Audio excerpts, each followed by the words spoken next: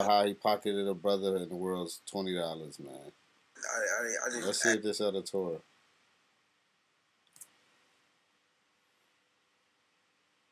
Right now, a lot of you not right. So I heard something drop. Right, it sounded like a fucking bag hit the ground. You feel me? I didn't. I, I, didn't, I didn't actually. I just heard it. You feel me? Now, so I, I turned back and shit. Me why the nigga dropped his twenty dollars, man. Money don't sound like that when it hit. Tell me why the nigga dropped his twenty dollars. He talking about this nigga.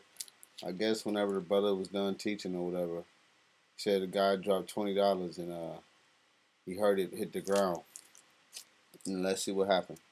ground. Feel me?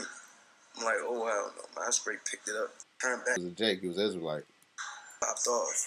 But the reason He got up out of there, basically. That's what it sounded like he said. Oh, man. Now, let's see what the Torah say. Dawrah. Exodus 23, verse 4.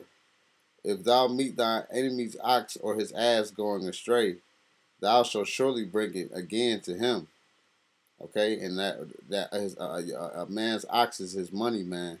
Okay, if you had oxen and sheep and things of that nature, you had like that was considered money back then, man.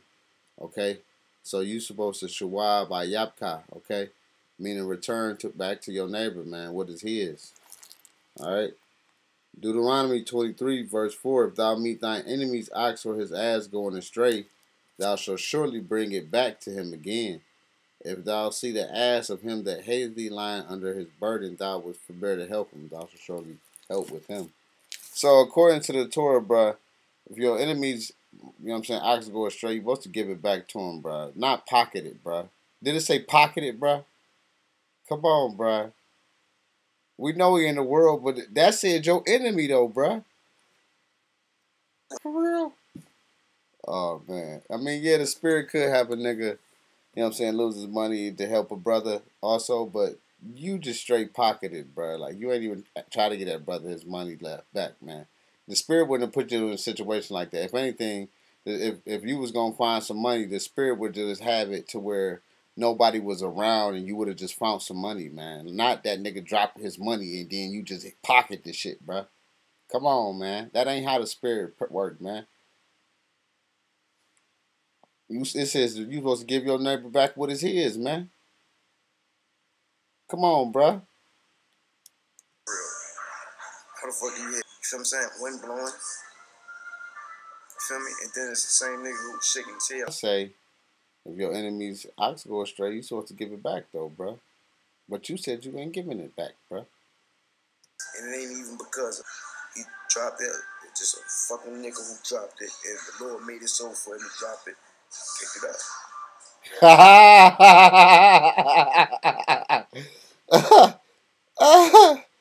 All right, that one you actually even came out, bruh.